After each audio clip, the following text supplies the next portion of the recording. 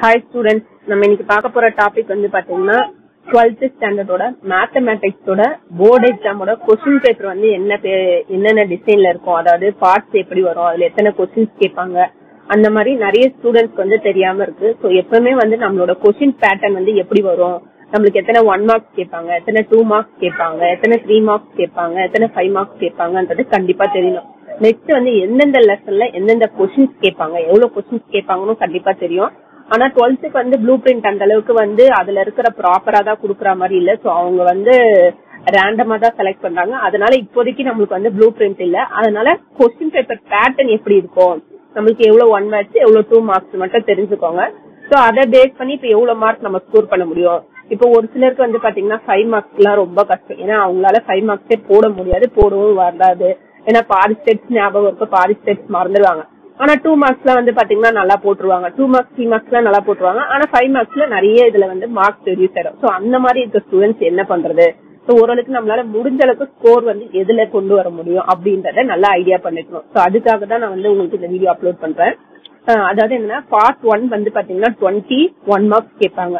So உங்களோட book பேக்ல இருந்து பாத்தீங்கன்னா லெவன் டு தேர்ட்டீன் அதாவது மினிமமா லெவன் கொஸ்டின்ஸ் கன்ஃபார்ம் உங்க புக் பேக்ல இருக்க கொஸ்டின்ஸ் தான் வரும். சம்டைம் வந்து ஒரு சிலர் வந்து எக்ஸ்ட்ராவே ஒன் மார்க்ஸ் புக் பேக்ல இருந்து எடுக்கலாம் அப்படின்னாங்கன்னா ஒரு தேர்ட்டீன் ஒன் வேர்ட்ஸ் வரைக்கும் உங்க புக் பேக்ல இருந்து கேட்பாங்க. ஸோ அப்போ நீங்க confirm book back one word தரவா இருந்தா டென் மார்க்ஸ் கம்பல்சரி உங்களுக்கு வந்துடும் ten to eleven marks compulsory so அதுக்கப்புறம் இருக்கிறதுலாம் வந்து கிரியேட்டிவா கேட்பாங்க. ஸோ ஒரு சிலருக்கு வந்து ஃபார்முலாஸ் கேட்பாங்க. சம்டைம் ஃபார்முலாஸ் எல்லாமே ஞாபகம் வச்சிருந்தாங்கன்னா ஒன் வேர்ட்ஸ்ல ஃபார்முலா கேட்ட உடனே ஆன்சர் பண்ணிடுவாங்க. ஸோ அந்த மாதிரி தான் சாய்ஸ் கன்ஃபார்ம் இருக்கும். ஆனா உங்களுக்கு கிரியேட்டிவா கேட்பாங்கன்னா புக் பேக்ல இல்லாத கொஸ்டின்ஸா இன்சைட் கொஸ்டின்ஸ் அந்த மாதிரி கேட்பாங்க ஸோ இன்சைட்ல எப்படி ஒன் மார்க்லாம் நம்ம வந்து சூஸ் பண்றது எப்படி தெரிஞ்சுக்கிறது அப்படின்னு கேட்டீங்கன்னா கண்டிப்பா உங்களோட புக் பேக்லயே நிறைய இப்ப வந்திருக்க சமைச்சர் புக்ல வந்து பாத்தீங்கன்னா எல்லாமே ஹைலைட் பண்ணி கொடுத்துருக்காங்க. ஒன் வேர்ட்ஸ்க்கு எல்லாமே வந்து பாத்தீங்கன்னா ஒரு சின்ன சின்ன பாக்ஸ் போட்டு அப்புறம் நோட்ஸ் ஹிண்ட் அந்த மாதிரி நிறைய அந்த மாதிரி கொடுத்துருக்காங்க. ஸோ அதெல்லாமே நீங்க வந்து ரெகுலரா ஒரு லெசன் போகும்போது எப்பவுமே இப்ப நீங்க ஒரு லெசன் ஸ்டார்ட் பண்ண போறீங்கன்னா அதுக்கு முன்னாடி ஒரு ஒன் ஹவர் லெசன்ல என்னென்ன கொடுத்துருக்காங்க? ஸோ அதாவது டெஃபினிஷன்ஸ் கொஞ்சம் கொடுத்துருப்பாங்க இல்லையா? இன்ட்ரோடக்ஷன் ஸோ அதெல்லாம் நீங்க ஒரு வாட்டி ஜஸ்ட் ரிவ்யூ பண்ணா போதும். அதெல்லாம் மனப்பாடம் பண்ணணும்னு அவசியம் இல்லை. என்னென்ன கொடுத்துருக்காங்க என்னென்ன கேட்க போறாங்க அந்த மாதிரி. ஒரு டாபிக் இப்ப மேட்ரிக்ஸ்னா மேட்ரிக்ஸ்னா என்ன? ஜீரோ த்ரீ காலம்ஸ் என்ன? அந்த மாதிரி உங்களுக்கு ஒரு டாபிக்னா அந்த டாபிக்ல என்னென்ன அர்த்தம் இருக்கு அப்படின்றது தெரிஞ்சா போதும். சரிங்களா? ஸோ டூ மார்க்ஸ் டூ மார்க்ஸ்ல வந்து பாத்தீங்கன்னா உங்களுக்கு வந்து செவன் டூ மார்க்ஸ் கேட்பாங்க ஓகேவா செவன் டூ மார்க்ஸ் நீங்க அட்டன் பண்ற மாதிரி இருக்கும். உங்களுக்கு ஃபோர்டீன் மார்க்ஸ் வரும்.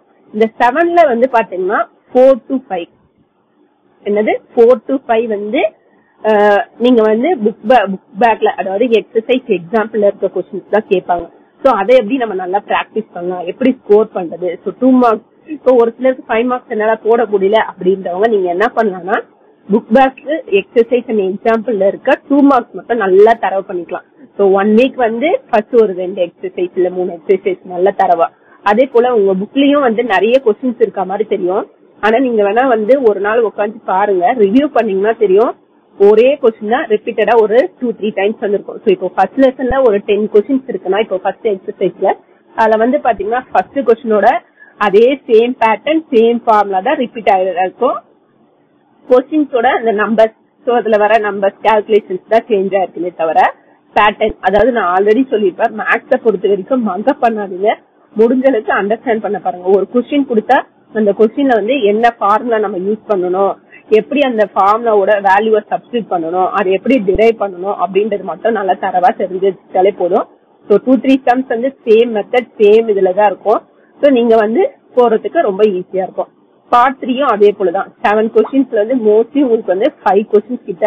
அதே போல சென்டம் அச்சீவ் பண்ணணும்னு நினைக்கிறவங்க கம்பல்சரி எப்பவுமே வந்து கிரியேட்டிவ் கொஸ்டின்ஸா தான் இருக்கும்.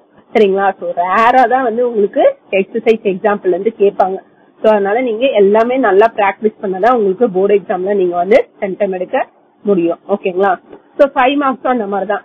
ஸோ ஃபைவ் மார்க்ஸ் வந்து என்னால எல்லா ஃபைவ் மார்க்ஸும் பார்க்க முடியல. எல்லா எக்ஸசைஸும் என்னால போட முடியல அப்படின்றவங்க நீங்க ரேண்டமா ஒரு சில எக்ஸசைஸ் சூஸ் பண்ணிக்கோங்க. நான் உங்களுக்கு இம்பார்ட்டன்ட் கொஸ்டின்ஸ் எல்லாம் தரேன். ஸோ முடிஞ்ச அளவுக்கு அந்த இம்பார்ட்டன்ட் கொஸ்டின்ஸ்ல இருக்க ஃபைவ் மார்க்ஸ் மட்டும் முடிஞ்ச அளவுக்கு நல்லா ப்ராக்டிஸ் பண்ணுங்க. கண்டிப்பா அதுல இருந்து உங்களுக்கு ஏழு கொஸ்டின்ஸ்ல ஃபோர் கொஸ்டின்ஸ் ஆவது கம்பல்சரி வரா மாதிரி தான் இருக்கும். நீங்க அதை மட்டும் நல்லா பிராக்டிஸ் பண்ணாலே போதும். உங்களுக்கு வந்து ஒரு டுவெண்ட்டி மார்க்ஸ் கிடைச்சிரும் ஸோ அந்த மாதிரி நான் ஒரு ஒரு சாப்டருக்கும் சரி நான் உங்களுக்கு இம்பார்ட்டன்ட் கொஸ்டின்ஸ் எல்லாம் தரேன். சோ நீங்க அதே போல நிறைய பேருக்கு என்னன்னா அந்த இம்பார்ட்டன்ட் கொஸ்டின்ஸ் மட்டும் பார்த்தா போதுமா அப்படின்னு நிறைய பேர் கேக்குறீங்க. நான் ஆல்ரெடி சொன்னதான் ஒரு பேட்டர்ன்ல இப்போ வந்து போர்டு எக்ஸாம்னா இந்த கொஸ்டின் தான் நான் எடுப்பேன். புக் பேக்ல இந்த எக்ஸசைஸ்ல இந்த கொஸ்டின் தான் எடுப்பேன்னு எந்த டீச்சராலையுமே கன்ஃபார்ம் சொல்ல முடியாது. ஓகேங்களா ஸோ ஓரளவுக்கு இதெல்லாம் வரலாம் இதெல்லாம் வரும் அப்படின்ற மாதிரி தான் அவங்களால சொல்ல முடியும். ஆனா வந்து பாத்தீங்கன்னா இப்ப நான் ஒரு சம் கொடுக்குறேன்னா அந்த சம் நீங்க நல்லா தரவு பண்ணணும்னா எப்படின்னா நான் கொடுக்குற அந்த சம்மை மட்டும் தரவு பண்ணக்கூடாது. அந்த மாதிரி பேட்டர்ன்ல இருக்க சம் சரிங்களா? ஸோ அந்த மாதிரி பேட்டர்ன்ல இருக்கட்டோம்னா அதுல நம்பர் சேஞ்ச் பண்ணாலோ அந்த மாதிரி இருந்தா நீங்க போட தெரிஞ்சாலே போதும். கண்டிப்பா உங்களால போர்டு எக்ஸாம்ல நல்லா ஸ்கோர் பண்ண முடியும். ஓகேங்களா ஸோ எப்பவுமே வந்து மேக்ஸை பொறுத்த வரைக்கும் நல்லா அண்டர்ஸ்டாண்டிங் தான் ரொம்ப முக்கியம். ஸோ இப்போ ஒரு ஒரு இதுலயும் நம்மளுக்கு என்ன வெயிட்டேஜ்ல வந்து மார்க்ஸ் எடுக்கிறாங்க அப்படின்னு பாத்தீங்கன்னா நம்மளோட நாலேஜ் நாலேஜ்ல என்னன்னா நம்ம ஆல்ரெடி வந்து டேபிள்ஸ் எல்லாம் படிச்சிருக்கோம் இல்லையா? அந்த மாதிரி கால்குலேஷன் ஸோ அந்த கால்குலேஷன்ஸ் எல்லாம் நம்மளுக்கு எந்த அளவுக்கு தெரியுது? ஃபார்முலாஸ் எந்த அளவுக்கு நம்மளுக்கு ஞாபகம் இருக்கு?